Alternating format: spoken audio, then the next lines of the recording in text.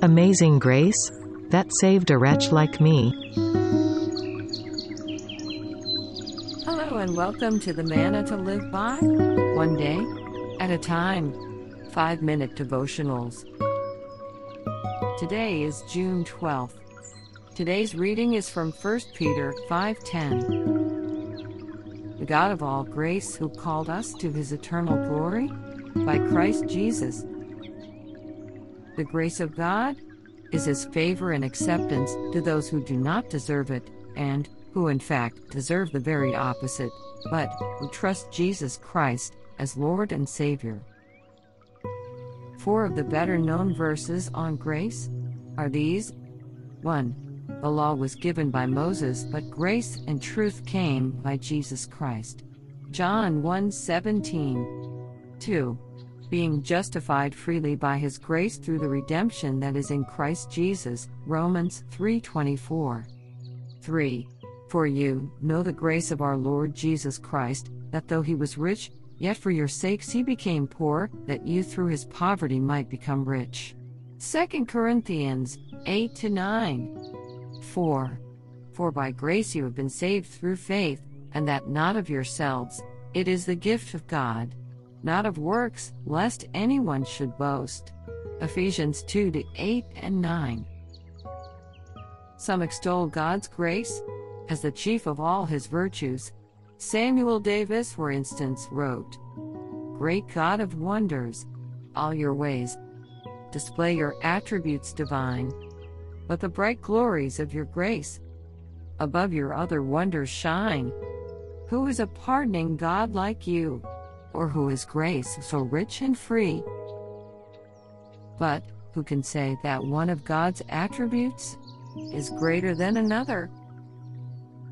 God has always been a God of grace, in the Old Testament as well as in the New.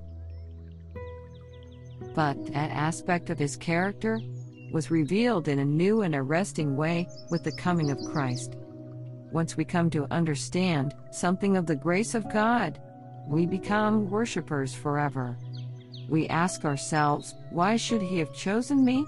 Why should the Lord Jesus have shed his life's blood for one so unworthy? Why should God not only save me from hell, but bless me with all spiritual blessings in the heavenlies now and destine me to spend eternity with him in heaven? No wonder we sing of the amazing grace that saved such wretches.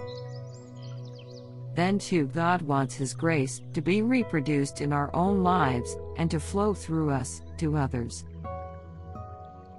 He wants us to be gracious in our dealings with others.